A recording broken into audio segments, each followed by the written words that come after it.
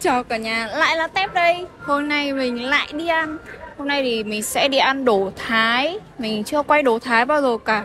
Hôm nay mình sẽ ăn một cái quán mới là Samtum Tá Samtum Thái. Hơi khó đọc. Ở bên này nè. Ta-da. Giờ thì cùng đi thôi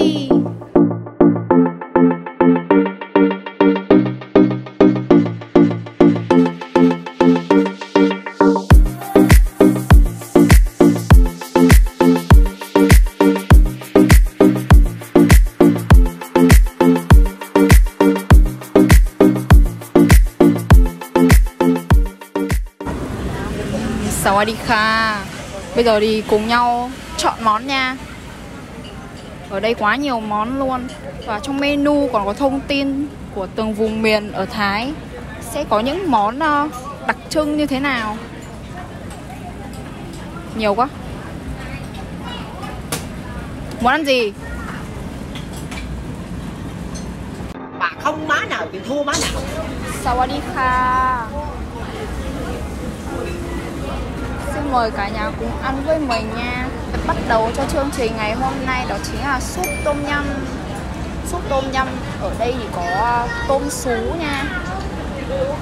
Súp tôm nhâm là một trong những cái món à, của miền miền Trung Đông của nước Thái như vậy. Đấy là theo mình nhớ nha. Không nhớ rõ lắm đâu. Súp tôm nhâm thì có hai loại là loại nước béo và không béo thì nước béo tức là sẽ có thêm ờ, nước cốt dừa ấy. Còn không béo thì là không có nước cốt dừa. Đơn giản thôi.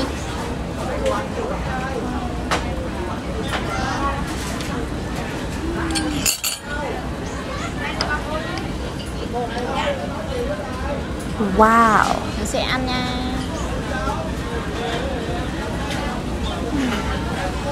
Wow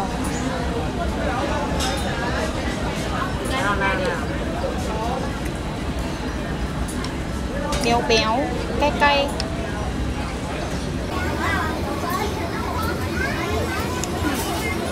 Khá là giống bên Thái nhá. Rất là chuẩn nha. Nhưng mà cũng không quá là cay. Thịt tôm đỉnh luôn nha. Thịt tôm chắc ngọt. Lại còn tôm bóc sẵn nữa. Đúng là hết nước chấm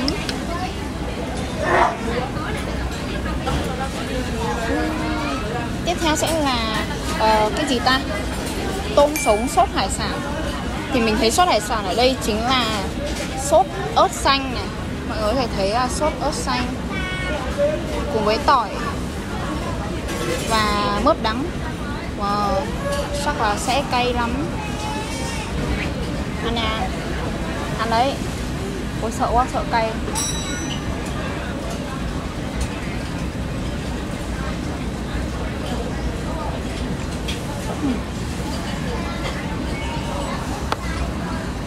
Ôi. Cay quá má ơi.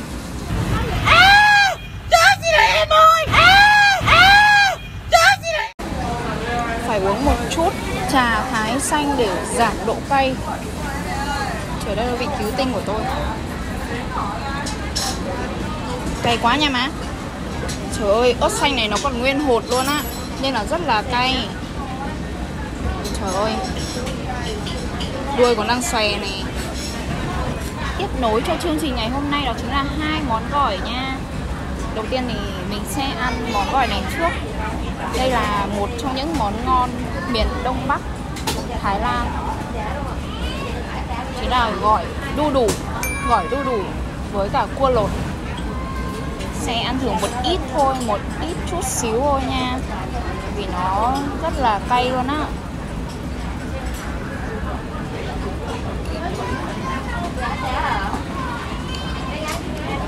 Sẽ không có đũa nhỉ? Sao, sao người Thái có ăn đũa không? nhưng mà ở ở nhà hàng ấy chỉ có dĩa với cả thìa thôi nhá.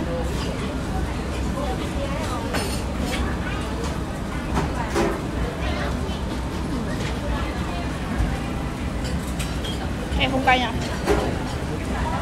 không cay đâu. Ăn nó giống nộm. Ăn nó khá bình thường. Đậu đũa. Bên này nhá còn có một cái sẵn kiểu là kiểu là khi bàn nào vào ăn cũng có một cái cái món này ấy, kiểu món khai vị ấy. món ăn kèm. Giống cái ban chan của Hàn Quốc ấy. Đúng không ta?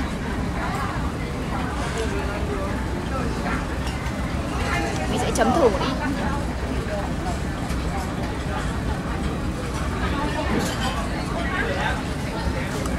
ít mắm thái.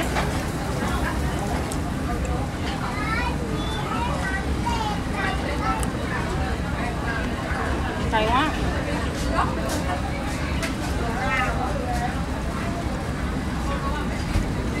Vẫn là một món gỏi nữa. Nha, đây là một trong những món gỏi đáng thử nhất thế giới. Top 50 món đáng thử nhất thế giới nha. Là có món này. Là đây gọi là gỏi gỏi uh, à, bò bằm cái loại này thì nó có ba kiểu là bò bằm này gà bằm heo bằm bạn sẽ ăn bò bằm trộn thính.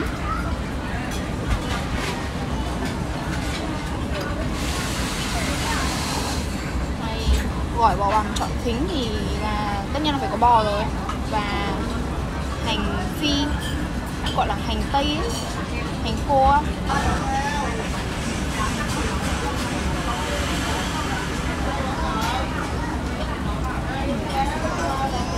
Wow. Nói đỉnh nha Đỉnh nha. Đỉnh nha, ngon lắm nha. Đúng là đúng là top 50 món ngon nhất thế giới. Nói đỉnh nha. Phải nói sao nhỉ? Bò bằm nhá. Cái vị nó không không có cay. Mà nó lại mang một cái vẻ kiểu nó rất là lạ luôn ấy.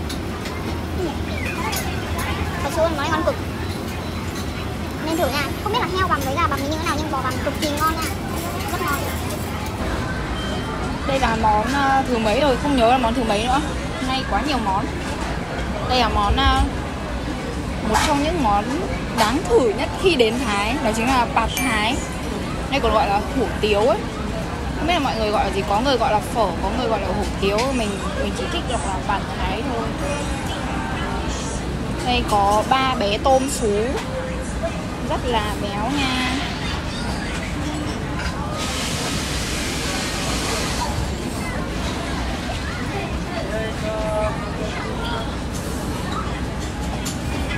à, mình sẽ trộn các em nó lên cho mọi người xem nha. Hôm phức Sau đó chúng ta sẽ quậy gói mì lên nữa. Chúng ta sẽ ăn mì Trời ơi nó thơm nè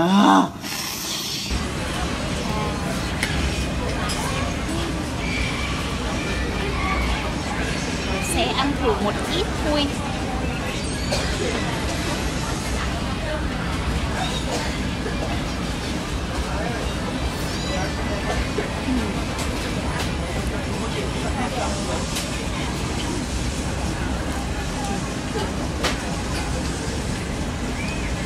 Bạn Thái ở đây cảm thấy hơi thiếu vị gì đấy nhá. Mình cảm thấy ở đây hơi thiếu vị gì đấy. Chưa thực sự ưng ý lắm.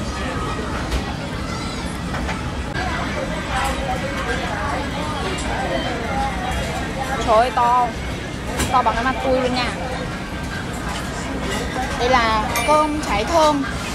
Kiểu là cơm rang để, để trong trái thơm. Rang cùng thơm luôn. Đây thì lại có hai bé tôm nữa. Hai hay ba ba bé. Ba bé tôm nha. Đều là tôm sú hết nha cơm, trái thơm thì là sẽ à, có à, tất nhiên là có dứa. Dứa rồi, tất nhiên phải có dứa. Dứa là thơm nó với cả à, đây là gì ta? Đậu phộng à không phải, cái gì nhỉ hạnh nhân. Hạnh nhân hay là hạt điều? Hạt điều chứ. Hạt điều đúng không? Hạt điều hạt điều hạt điều.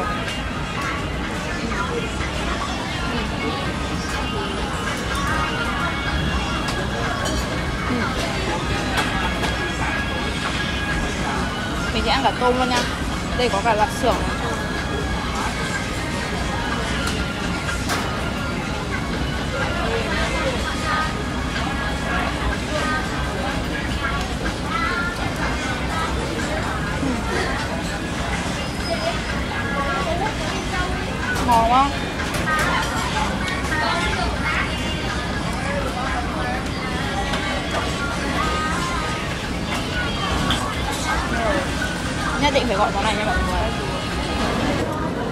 Cuối cùng chính là món tráng miệng xôi xoài.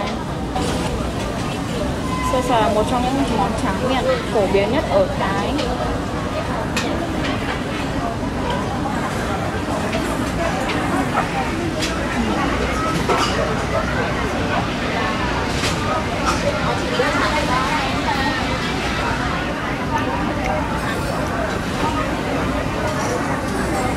Nó có dừa cảm thấy mình mình chưa cảm thấy cái độ béo của nó ấy. Xoài thì rất ngon rồi. Xôi hơi khô nha, hơi khô. Xôi hơi khô, nhìn nhìn tưởng ướt nhưng mà. Ăn nó cứ sao sao á mọi người ạ. Nhưng mà không ngon lắm. Ở đây ừ, nó chỉ được thôi nhé không ngon lắm. Mọi người nhớ đến trải nghiệm Som thăm Thái nha. Bye bye cả nhà và hẹn gặp lại trong những vlog lần sau. Nhớ nhấn thích, chia sẻ và đăng ký nha.